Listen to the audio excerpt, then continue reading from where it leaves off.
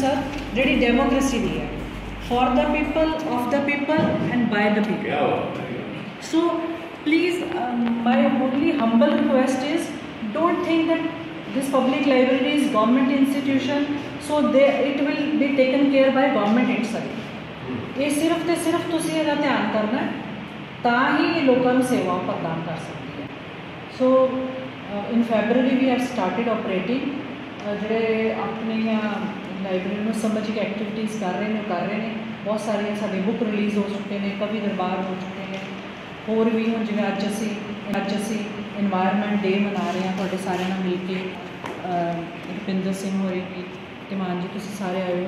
ਮਕਸਦ ਇਹ ਹੈ ਕਿ every event which ever you celebrate outside there please use public library ਠੀਕ ਹੈ now I invite Uh, Deepak Babaji, kindly introduce yourself and others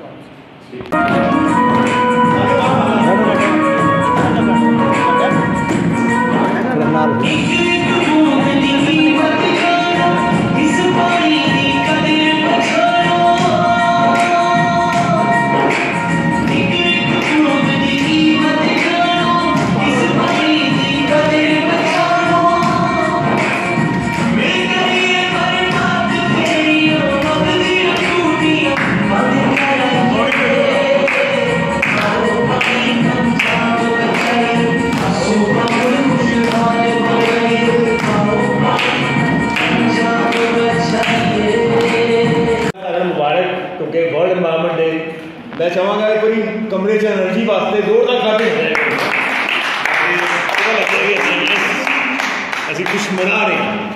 वैसे तो हमेशा डेली इन्वायरमेंट डे है। कोई दिन होता नहीं कि इन्वायरमेंट लोड़ नहीं पाई, सामने या कोई फ्लावर नहीं मिल रहे या तो ऑक्सीजन नहीं मिल रही। So environment day is every day इसमें हमें पाँच का ध्यान दिया पेड़ पौधे भी है पशु पक्षी है।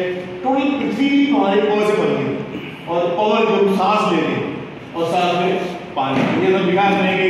ये सब जीवन की निशानी इनके बिना खत्म कहानी। आज मुझे बहुत खुशी है कि हम एनवायरनमेंट डे सेलिब्रेट करने के लिए इधर इकट्ठा हुए हैं और कोई भी एनवायरनमेंट पे हमारी आज जो चर्चा है पर्यावरण से वही बात है कि जैसे जैसे एक माँ के बच्चे होते हैं, इसी तरह से पर्यावरण से हम सभी जुड़े हुए हैं। मतलब कोई ये नहीं है कि पेड़ पौधे, पशु पक्षी, इंसान, ये सारे उस माँ नेचर के, मदर प्रकृति के हम सब बच्चे हैं। तो मुझे लगता है कि बराबर हर एक का हक होना चाहिए कि ये नहीं कि सिर्फ़ एक इंसान जो है, अगर एक करके निकला है तो वो हर एक चीज़ के ऊपर अपना स्वामित्व कर सकता है हम कुछ मुट्ठी भर एनवायरमेंटलिस्ट हैं जो निकल करके आए हैं तो हमारी ड्यूटी अब और भी ज़्यादा बढ़ जाती है कि सब लोगों को उस चीज़ के लिए मोटिवेट करना अवेयर करना कि उन लोगों की जो रिस्पॉन्सिबिलिटीज़ आज के टाइम में जो वो भूल गए हैं उसे दोबारा याद कराना president Rotary Club Amritsar Cantt ਬੜਾ ਅੱਛਾ ਲੱਗਿਆ ਇੱਥੇ ਆ ਕੇ ਸ਼ੁਰੂ ਤੋਂ ਅਸੀਂ ਆਉਂਦੇ ਰਹੇ ਹਾਂ ਮੈਮ ਹਮੇਸ਼ਾ ਸਾਨੂੰ ਬੁਲਾਉਂਦੇ ਰਹੇ ਆ ਕਈ ਅਸੀਂ ਪ੍ਰੋਜੈਕਟਸ ਕੀਤੇ ਆ ਡਿਸਟ੍ਰਿਕਟ ਲਾਇਬ੍ਰੇਰੀ ਦੇ ਵਿੱਚ ਕਿ ਜਿਹੜਾ ਕਿ ਬੱਚਿਆਂ ਵਾਸਤੇ ਤੇ ਸਾਰਿਆਂ ਵਾਸਤੇ ਯਾਦਗਿਰੀ ਹੋਵੇ thank you ma'am thank you so much मैं अपनी इंट्रोडक्शन दे रही थी कि अ, मेरा नाम नीरू भाटिया और अ, वाइस प्रिंसिपल हूँ मैं स्कूल में श्री रामकन्या स्कूल में और मिशन अनाज से जुड़ी हूँ मैं दो साल हो गए हैं और हरियाणा पंचायत की मेंबर हूँ तो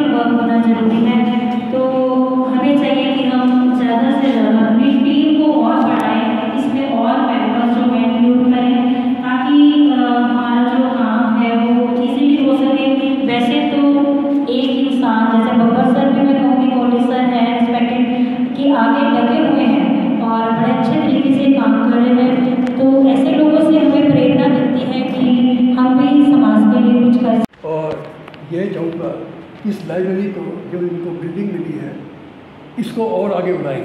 जैसे उन्होंने बोला है कि पटियाला में भी जाके ये काम कर रही हैं तो मैं आपको दोबारा फिर बधाई देता हूँ। पर्यावरण के बारे में बहुत कुछ कह चुके हैं लोग और कह भी रहे हैं। पेड़ लगाते हैं, पौधे लगाते हैं, लेकिन उनको बचाना भी तो चाहिए। क्या होता है, लगा देते हैं, बाद में पानी कोई नहीं देता, सड़ जाता है और कोई जानवर खा जाते हैं। कहने का तो है, हमने हज़ार पौधे लगा दिए कहाँ गए वो पौधे? जब हम जाते हैं महीने के बाद, दो महीने के बाद तो उसमें से क्या दो या चार पौधे नज़र आते तो मेरे कहने का तात्पर्य है, अगर जो आप घर भी बनाते हैं तो उसमें थोड़ी सी जगह छोड़ के पानी के लिए जगह छोड़िए, और कमरे चाहिए तो ऊपर ऊपर चले जाइए, पृथ्वी को बचाइए। ऐसे ही पानी को बचाइए, हवा को बचाइए, हवा के बगैर हम जी नहीं सकते। हम रह सकते हैं पानी के बगैर। लेकिन हवा के बजाय तो मैं ज़्यादा टाइम ना लेते हुए यही कहूँगा कि जो काम हम लोग कर रहे हैं मिशन काज कर रहे हैं अपने सर वेलफेयर सोसाइटी कर रही है, बाकी ग्रुप कर रहे हैं, या हमारे कोहली साहब कर रहे हैं, इन सब का साथ दीजिए। धन्यवाद। आज असी कामरेड ਸੋਹਣ सिंह जोश जिला लाइब्रेरी ਦੇ ਵਿੱਚ ਵਰਲਡ এনवायरमेंट ਡੇ ਇਹਨਾਂ ਨੂੰ ਅਸੀਂ ਮਨਾਉਣ ਵਾਸਤੇ ਇਕੱਤਰ ਹੋਏ ਆ ਤੇ ਜਿਹੜੇ ਅੰਮ੍ਰਿਤਸਰ ਸ਼ਹਿਰ ਦੇ ਵਿੱਚ ਵਾਤਾਵਰਣ ਦੇ ਨਾਲ ਜੁੜੇ ਮੁੱਦੇ, ਜੁੜੀਆਂ ਜਿਹੜੀਆਂ ਸੰਭਾਵਨਾਵਾਂ ਹਨ ਉਹਨਾਂ ਦੇ ਉੱਤੇ ਵਿਚਾਰ ਚਰਚਾ ਕਰਨ ਵਾਸਤੇ ਤੇ ਸੰਭਾਵਨਾਵਾਂ ਨੂੰ ਡਿਸਕਸ ਕਰਨ ਵਾਸਤੇ ਇਕੱਠੇ ਹੋਏ ਆ ਸਨ 1972 ਦੇ ਵਿੱਚ ਜਿਹੜਾ ਸ਼ੁਰੂਆਤ ਕੀਤੀ ਗਈ ਸੀ ਵਰਲਡ এনवायरमेंट ਡੇ ਮਨਾਉਣ ਦੀ, ਉਸ ਵੇਲੇ ਜੋ ਤਰਾਸ਼ ਸੀ, ਉਸ ਵੇਲੇ ਦੇ ਸਮੇਂ ਦੇ ਜਿਹੜੇ ਉਦੋਂ ਚਿੰਤਕ ਸੀਗੇ, ਉਹਨਾਂ ਨੇ ਸਮਝਿਆ ਕਿ 119 ਦੇਸ਼ ਇਕੱਠੇ ਹੋਏ ਸੀ, ਸਵੀਡਨ ਦੇ ਵਿੱਚ 1972 ਚ। 50 ਸਾਲ ਹੋ ਗਏ ਆ ਇਸ ਵਰਤਾਰੇ ਨੂੰ, ਲਗਾਤਾਰ ਹਰ ਸਾਲ ਵਰਲਡ এনवायरमेंट ਡੇ ਜਿਹੜਾ ਅਸੀਂ ਸੈਲੀਬ੍ਰੇਟ ਕਰ ਰਹੇ ਹਾਂ ਤੇ ਹਰ ਸਾਲ ਵਰਲਡ এনवायरमेंट ਡੇ ਦੇ ਉੱਤੇ ਕੋਈ ਇੱਕ ਥੀਮ ਮਿਲਦਾ ਹੈ, ਤੇ ਇਸ ਸਾਲ 2022 ਦਾ ਵਰਲਡ এনवायरमेंट ਡੇ ਜਿਹੜਾ ਇਹਦਾ, ਜਿਹੜਾ ਥੀਮ ਹੈ, ਉਹ ਹੈਗਾ ਅਰਥ ਓਨਲੀ ਅਰਥ।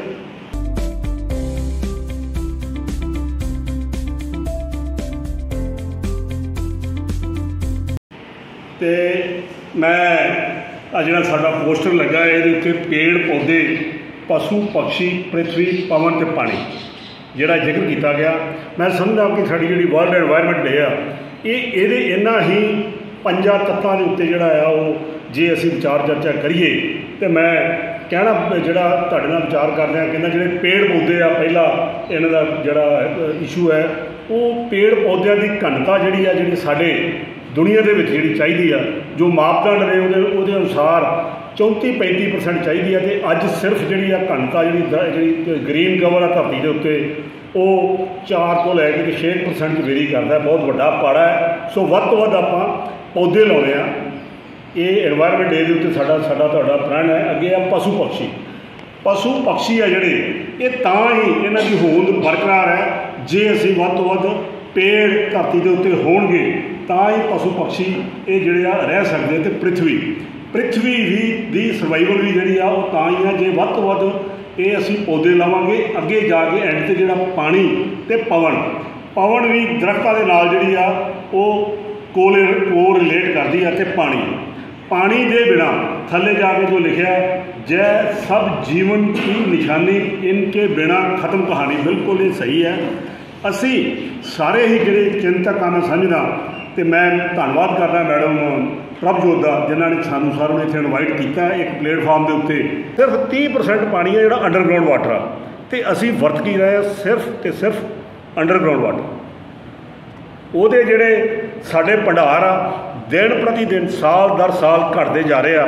ਮੈਨੂੰ ਦੱਸਦਿਆਂ ਬੜੀ ਹੈਰਾਨਗੀ ਵੀ ਆ, ਔਰ ਮੈਂ ਜਿਹੜੀ ਅਸੀਂ ਅਸੀਂ ਤੁਸੀਂ ਹਮੇਸ਼ਾ ਇਸ ਚਿੰਤਾ ਦੇ ਵਿੱਚ ਰਹਿੰਦੇ ਆ ਕਿ ਜੇ ਆਪਾਂ ਪੰਜਾਬ ਦੀ ਗੱਲ ਕਰਦੇ ਆ, ਤੇ ਪੰਜਾਬ ਦੇ ਵਿੱਚ 150 ਬਲਾਕਸ ਆ ਉਹਦੇ ਵਿੱਚ ਸਰਕਾਰੀ ਅੰਕੜੇ ਕਹਿੰਦੇ ਆ ਕਿ 100 ਤੇ 22 ਬਲਾਕ ਆ ਜਿਹੜੇ ਉਹ ਡਾਰਕ ਜ਼ੋਨ ਡਿਕਲੇਅਰ ਕਰ ਦਿੱਤੇ ਆ ਉਹਨਾਂ 122 ਦੇ ਵਿੱਚੋਂ 26 ਬਲਾਕ ਜਿਹੜੇ ਬਲਾਕਸ ਇਹੋ ਜਿਹੇ ਆ, ਜਿਹੜੇ ਬਿਲਕੁਲ ਹੀ ਡਾਰਕ ਜ਼ੋਨ ਇਸ ਹੱਦ ਤੱਕ ਆ ਕਿ ਉਹਨਾਂ ਦੇ ਵਿੱਚ ਕੋਈ ਵੀ ਜਿਹੜਾ ਬੋਰ ਆ ਉਹ ਨਹੀਂ ਲੱਗ ਸਕਦਾ, ਚਾਹੇ ਉਹ ਕਮਰਸ਼ੀਅਲ ਆ ਤੇ ਚਾਹੇ ਡੋਮੈਸਟਿਕ ਆ, ਪਰ ਹੋ ਕੀ ਰਿਹਾ, ਉਹ ਲੱਗ ਰਿਹਾ ਹੈ। ਅਹ 30% ਪਾਣੀ ਜਿਹੜਾ ਹੈਗਾ ਆ ਧਰਤੀ ਹੇਠਲਾ, ਉਹ ਕੱਲਾ ਇਨਸਾਨ ਹੀ ਨਹੀਂ ਪੀ ਰਿਹਾ।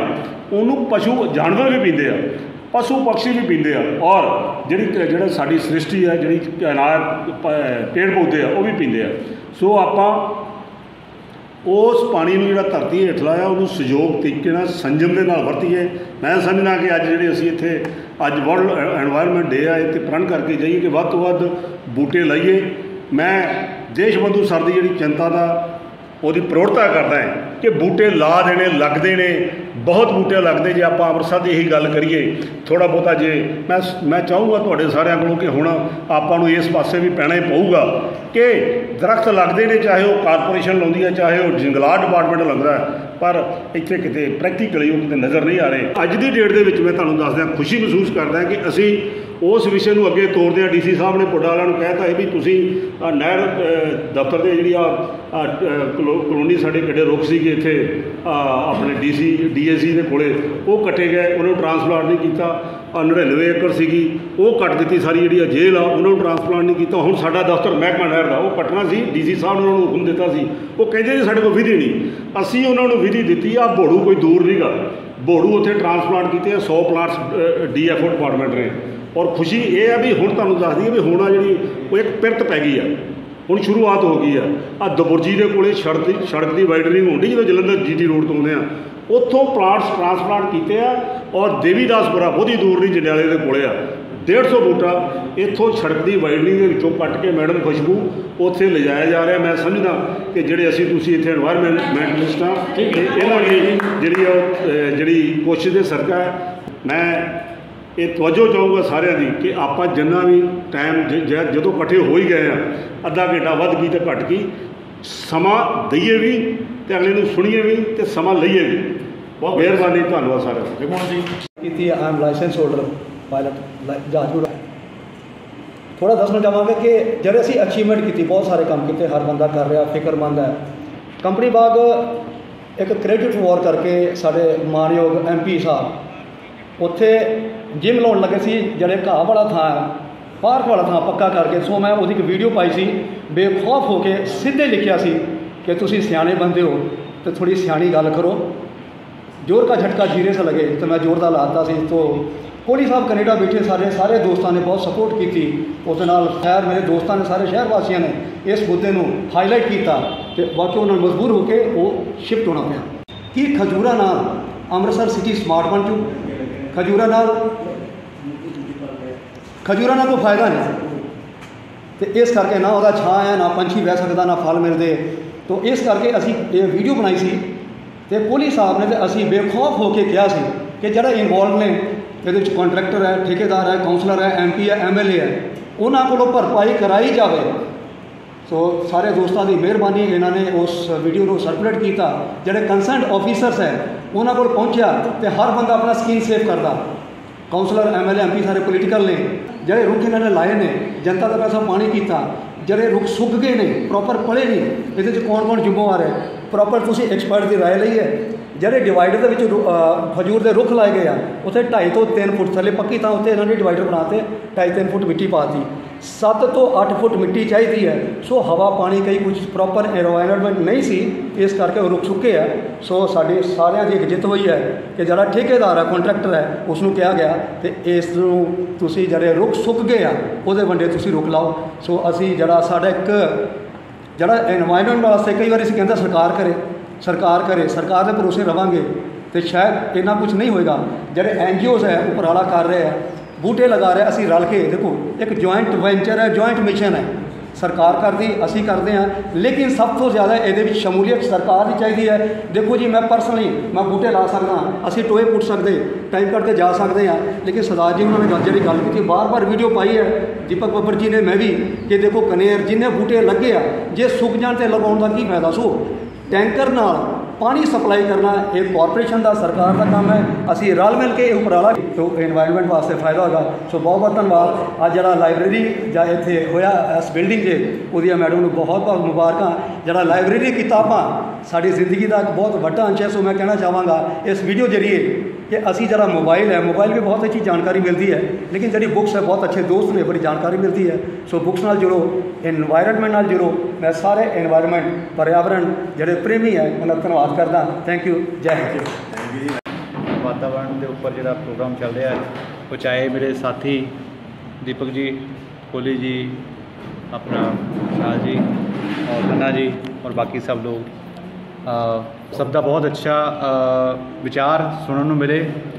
ਪਰ ਮੈਨੂੰ ਲੱਗਦਾ ਹੈ ਕਿ ਆਪਾਂ ਵਿਚਾਰਾਂ ਬਹੁਤ ਵਾਰੀ ਕਰਦੇ ਹਾਂ, ਲੇਕਿਨ ਆਪਾਂ ਉਸ, ਉਹਨਾਂ ਲੋਕਾਂ ਦੇ ਅੱਗੇ ਵਿਚਾਰਾ ਕਰੀਏ, ਜਿਹੜੇ ਵਾਕਈ ਸੋ ਕਾਲ ਡਿਵੈਲਪਮੈਂਟ ਜਿਹੜੀ ਕਰਨਾ ਚਾਹੁੰਦੇ ਨੇ, ਪੱਕੀਆਂ ਸੜਕਾਂ ਬਣਾਉਣਾ ਚਾਹੁੰਦੇ ਨੇ, ਪੱਕੀਆਂ ਪਾਰਕਾਂ ਬਣਾਉਣਾ ਚਾਹੁੰਦੇ ਨੇ, ਪੱਕੀਆਂ ਬਿਲਡਿੰਗਾਂ ਬਣਾਉਣਾ ਚਾਹੁੰਦੇ ਨੇ, ਤਾਂ ਕਿ ਆਪਾਂ ਜਿਹੜਾ ਗਰਮੀ ਦਾ ਜਿਹੜਾ ਸੀਜ਼ਨ ਹੈ, ਆਪਾਂ ਦੇਖ ਰਹੇ ਹਾਂ ਕਿ ਕਿੰਨੀ ਗਰਮੀ ਵੱਧ ਰਹੀ ਆ।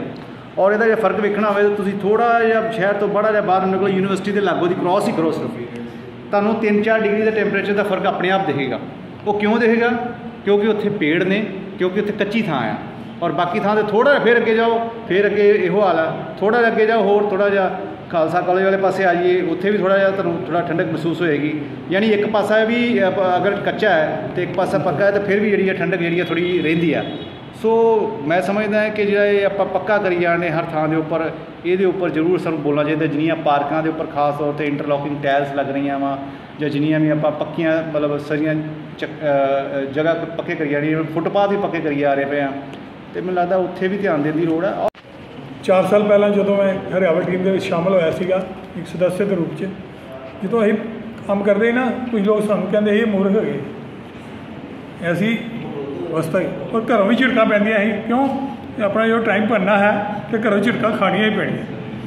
ਮੈਂ ਪਾਣੀ ਦੇ ਵਿਸ਼ੇ ਦੀ ਗੱਲ ਕਰਾਂਗਾ ਤੇ ਅਗਰ ਪਾਣੀ ਬਚਾਉਣ ਦੇ ਵਿੱਚ ਸਾਡੇ- ਸਾਡੀ ਕੋਈ ਸਭ ਤੋਂ ਜ਼ਿਆਦਾ ਮਦਦ ਕਰ ਸਕਦਾ ਹੈ ਤੇ ਸਾਡੇ ਸਕੂਲਾਂ ਦੇ ਬੱਚੇ ਕਰ ਸਕਦੇ ਆ।